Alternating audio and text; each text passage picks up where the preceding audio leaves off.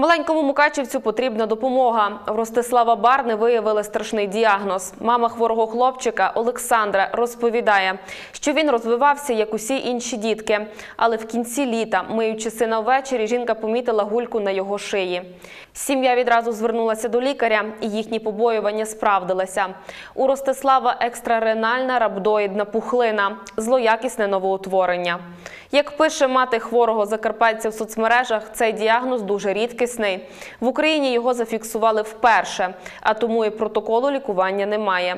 Є таких 300 випадків в Росії і трохи більше у Європі та Америці.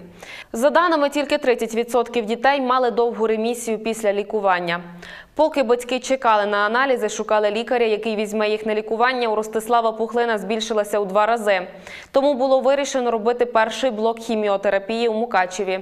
Також батьки звернулися в інститут раку в Києві, і медики погодились взяти хлопчика на лікування. Наразі дитині зробили другий блок хіміотерапії в столичній клініці. Однак коштів на лікування молодої сім'ї бракує. Родина Барна звертається до усіх небайдужих з проханням фінансово допомогти. А також хлопчику потрібні донори на кров першої групи Резус Мінус. Зробіть маленькому Ростиславу подарунок до Дня Святого Миколая. Реквізити бачите на своїх екранах.